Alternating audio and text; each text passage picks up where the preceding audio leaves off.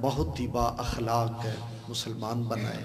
और जो कुरान के तकाजे हैं, जो नबी का हुक्म है, उसके ऊपर हमें सबको अमल की तोफ़ी अता फ़रमाए। हमने पाकिस्तान में एक छोटी सी मैं बड़ी तहरीक तो नहीं कह सकता, लेकिन ये शूर बेदार करने की ज़रूर कोशिश कर रहे हैं कि पाकिस्तान सबका साझा है। पाकिस्तान काले गोरे का नहीं, सबका है। पाकिस्तान मेरा भी है पाकिस्तान तेरा भी है। हर वो इंसान जो पाकिस्तान की सरजमीन पे है, वो उसका पाकिस्तान है। आओ मिल के पाकिस्तान की हिफाजत भी करें और पाकिस्तान की खिदमत भी करें। मैं अपने दोस्तों से, जो नाराज़ दोस्त हैं, जो ये समझते हैं, या इस्लामी कानून नहीं है, जो ये समझते हैं, या ये है, मैं उनसे कहता हूँ, ये पाकिस्तान एक इमकान की दुनिया है। जिस तरह एक प्याला होता है ना, ये मेरे पास है। इसमें ये पानी है। अगर खुदा न खासा इसमें कोई आ, आ, हराम चीज़ डाल दी जाए तो क्या फिर मुझे हक बनता है कि मैं इस प्याले को तोड़ दूँ कि उसमें हराम चीज़ है? नहीं। ये एक इम्कान है। आज इसमें कोई हराम चीज़ है हम अपने आप को हालात को बेहतर करें। कल ये प्याला हमारे पास आए तो हम उसमें से ये निकाल के तो हमने एक ये एक तहरीक और एक छोटा सा पैगाम जो है वो दे रहे हैं कि सदा सलामत पाकिस्तान। ता क़यामत पाकिस्तान। तेरी जान, मेरी जान पाकिस्तान। तो हम इन अज़ीज़ इस चीज़ पे दोस्तों में जाते हैं, उनको इस्लाम की जो तुम नुमाइंदगी जिस अंदाज में नाराज़ नाराज़ कर रहे हो, ये उस इस्लाम को बदनाम कर, को सलामत मैंने देखा है, वो लोग जिनकी शनाख्त नहीं ना होती, वो दुनिया में किस तरह मारे मारे फिरते हैं। मैं फ्रांस की सड़कों पे गुजरा मेरे दोनों तरफ़ वो जो उनका मशहूर दरिया है, जिसके ऊपर वो एफल टावर है, वहाँ उस ब्रिज के ऊपर दाएँ तरफ़ भी बारह, तेरह, चौदह साल की बच्चियाँ खड़ी थी और बाएँ तरफ़ भी खड़ी थी। उनके हाथ में मकई के भुट्टे थे और वो उसको जो है वो बेचने वाली थी और उनके तन के ऊपर पूरे कपड़े नहीं थे। मैंने पूछा, ये फ्रेंच हैं? ये इनकी बच्ची हैं? उन्होंने कहा, जी नहीं, ये मुसलमान बच्चियाँ हैं, ये अल्बेनिया की हैं। ये कसोवन है, ये बोजनियन है, ये वो लोग हैं। ये हमारे यहाँ एक जो है वो गलेल कोई मारे ना तो हमारे ऊपर फिर वो बरसने शुरू हो जाते हैं। इसलिए कि हमारा शनाख्त नहीं है, जो उनके मुल्क नहीं है, उनकी आज़ादी नहीं है।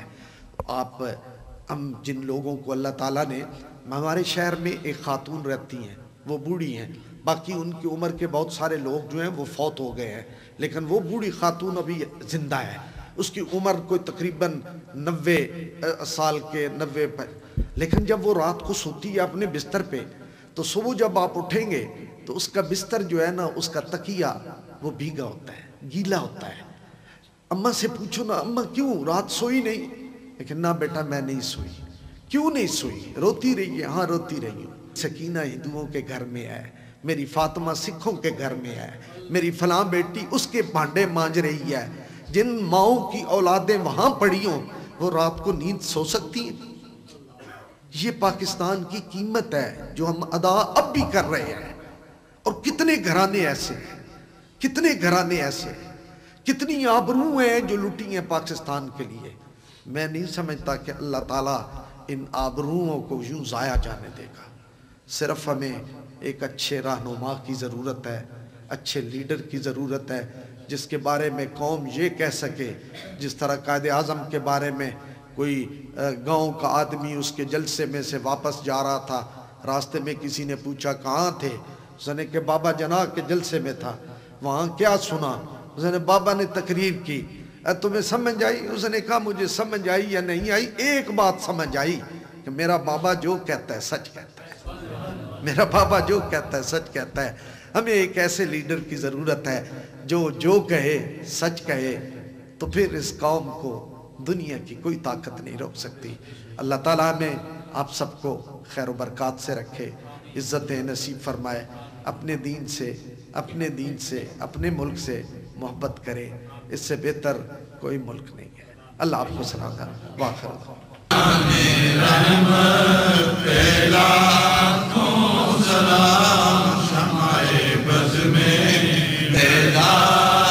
सजदे